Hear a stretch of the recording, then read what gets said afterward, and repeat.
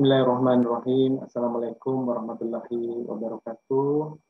Uh, how are you today? I hope you all fine. Uh, we are going to talk about requests in English for business the, uh, at that time. Okay, we are going to start.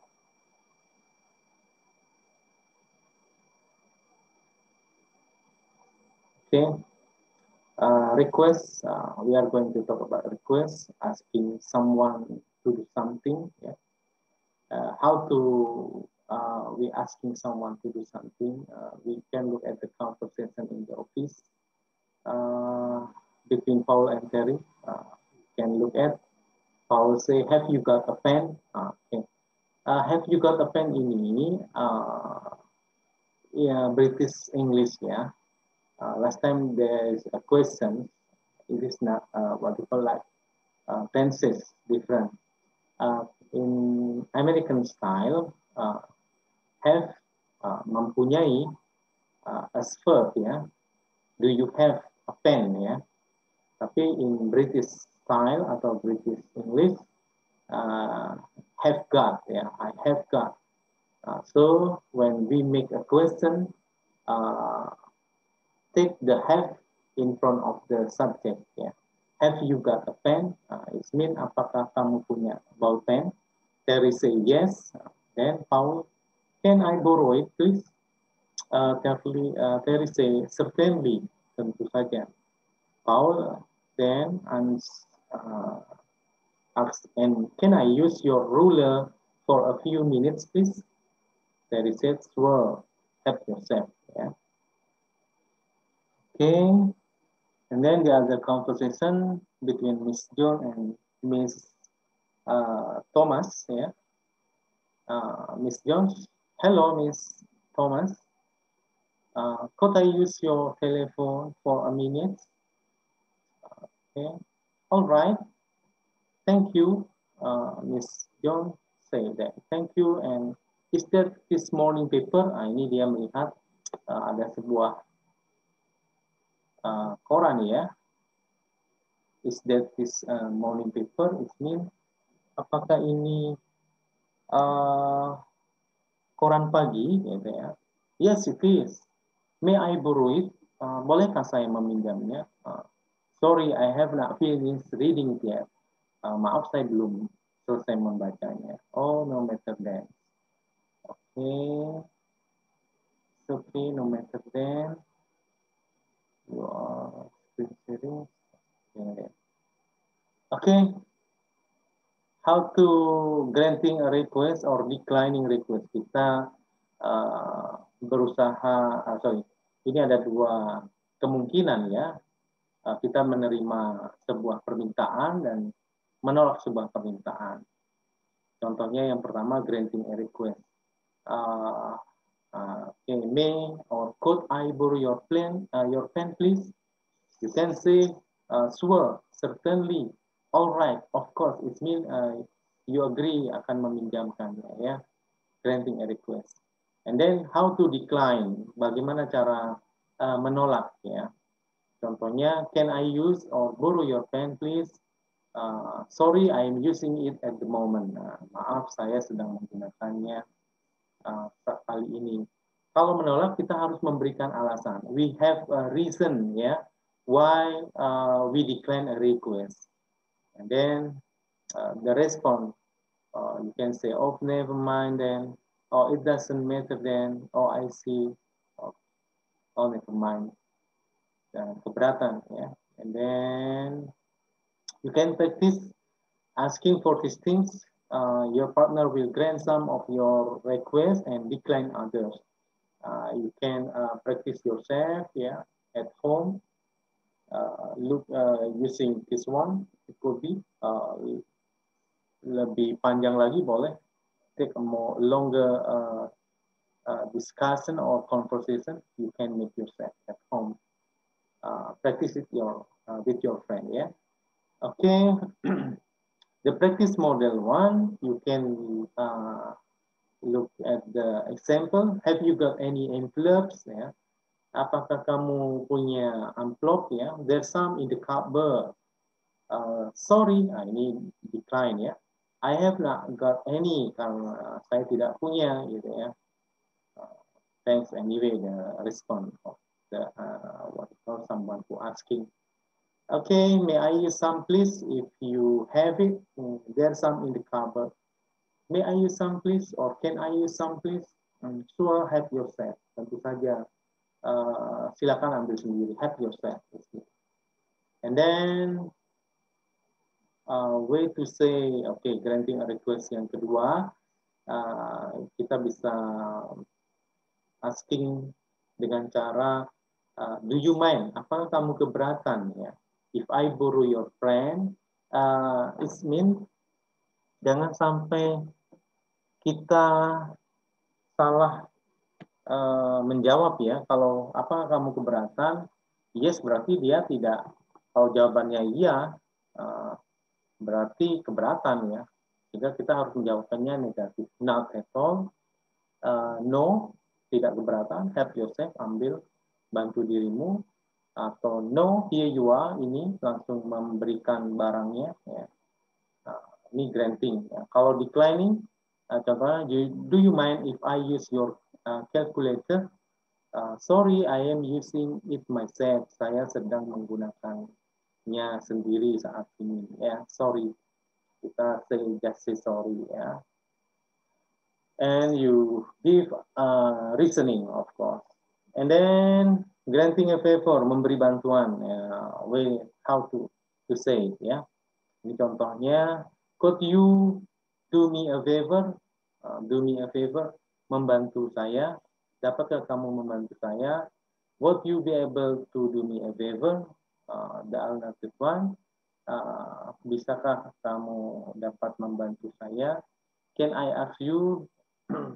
dapatkah saya meminta kamu untuk membantu saya? Uh, the answer is certainly, tentu saja. Sure, tentu saja. What is it? Apa itu? Ya. Of course, tentu saja. Uh, is mean, ya. Ini artinya begitu. Tentu saja. Atau uh, ini langsung memberi bantuan tadi certainly. Oke, okay. please, nah ini uh, minta tolong tapi dalam bentuk uh, semacam perintah ya, tapi uh, directly, secara langsung. Please, tolong, give this to Mr. Wilson.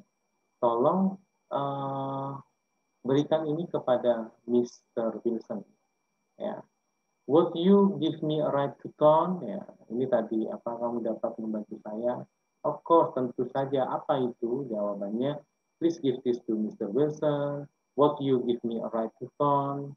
Uh, memberi tumpangan ke kota, send them an email, uh, mengirim uh, mengirimkan email, fill in this form, mengisi form ini, give me your address, uh, memberi uh, alamatmu would you be able to give me your address? Dapatkah kamu memberi uh, alamatmu? Jawabannya sure, okay, if you agree. Okay. Uh, polite way. Nah, ini memang uh, would you mind ini digunakan lebih uh, sopan ya dibandingkan yang sebelumnya. Ya.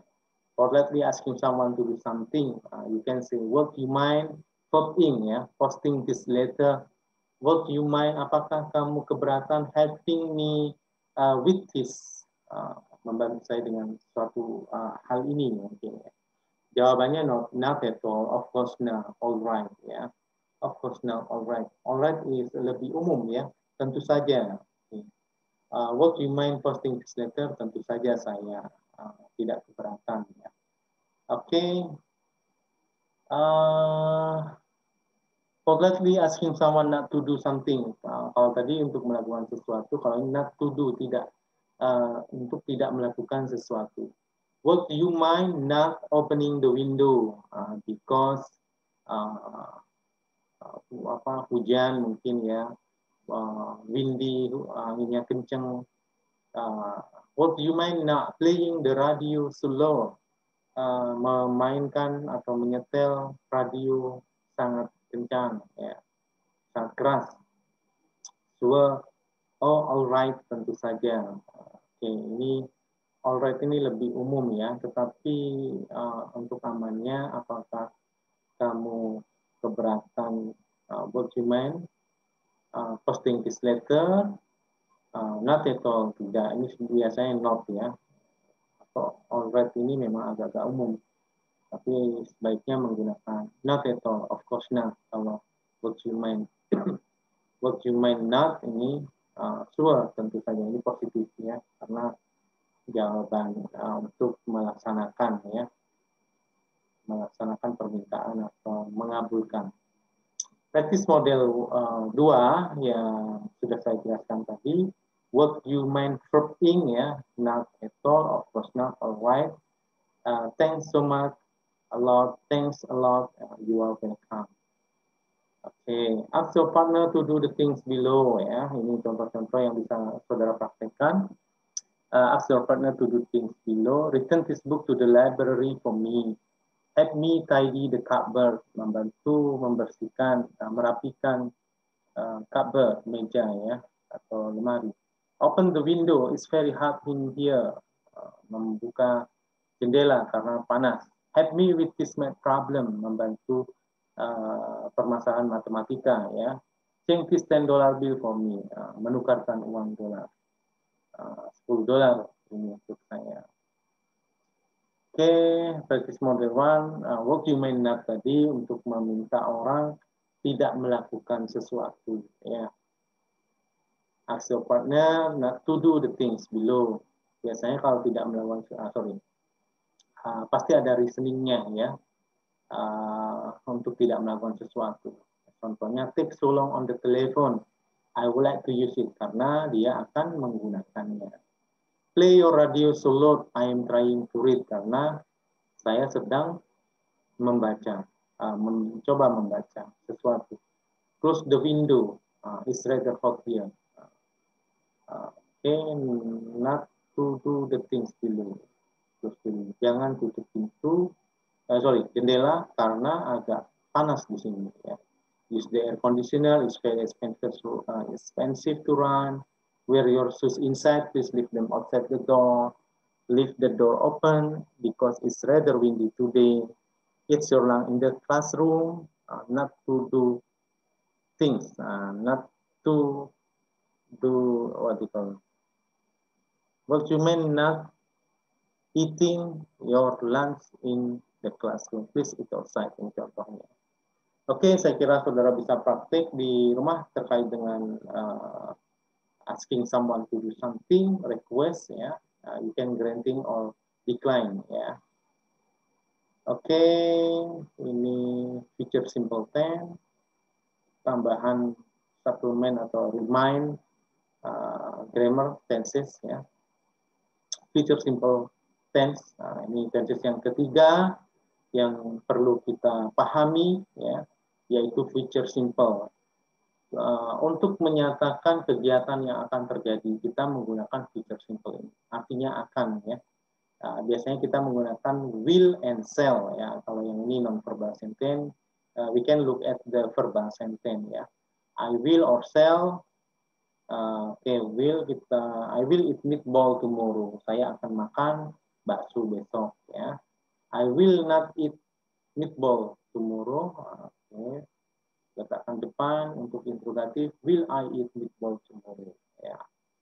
and then at sort of time uh, before or after sentence uh, posisinya tomorrow the day after tomorrow besok lusa next three days next three weeks next three months next three year tiga hari tiga tahun years yang akan datang ya next week minggu depan next month next year ya Uh, bulan tahun yang akan datang. Ini bisa digunakan untuk keterangan waktu akan ya.